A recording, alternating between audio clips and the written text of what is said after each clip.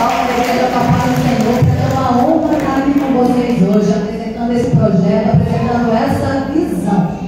Porque é um propósito, gente, é um propósito celestial. Eu não imaginei estar fechando um cargo político.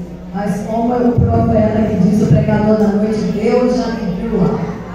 Deus sondou meu coração e me mostrou uma visão. Há muitos anos, e quando eu cheguei no Rema, estudei os dois anos do Rema, estudei profunda palavra, os dois anos Deus me revelava o plano que Ele tem para essa nação. Não só um plano para a nação, o Brasil é uma nação de Jesus, é o slogan do meu santinho. Por que, que eu coloquei isso? Porque nos dois anos que eu estudava, o estudo bíblico do Rema, Deus me mostrava que para haver prosperidade nós temos que estar alinhados. Nós temos que tomar posse da visão. E nós sabemos que para que o milagre aconteça, para que as promessas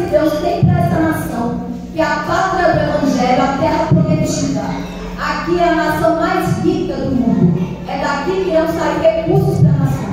Deus me levantou em Petrolina, porque Petrolina também é profética. É a terra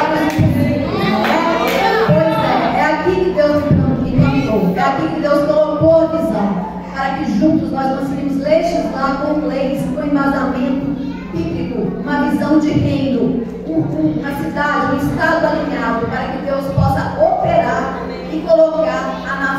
dele, o estado dele alinhado, para prosperar, para avançar. E assim nós, o povo de Deus, que recebemos a palavra, que temos o Espírito Santo de Deus dentro de nós, que temos a mentalidade de reino, vamos nos posicionar, vamos nos levantar e vamos alinhar esse estado e essa nação para que Jesus cumpra o que ele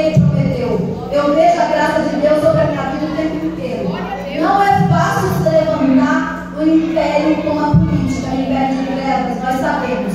Por quê? O diabo quer o que fazer conosco? Ele quer sugestionar nossa mente. Ele quer nos roubar as nossas promessas. Então ele diz o que pra gente? A política é suja. A política não é lugar de crente. Mas como assim? Se a promessa de Deus é para os crentes, se a volta de Deus é para os crentes, por quê? Se na história da Bíblia tudo se baseou diante da.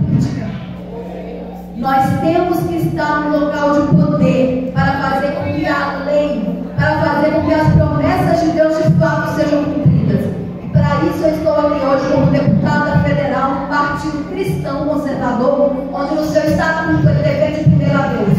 O único partido de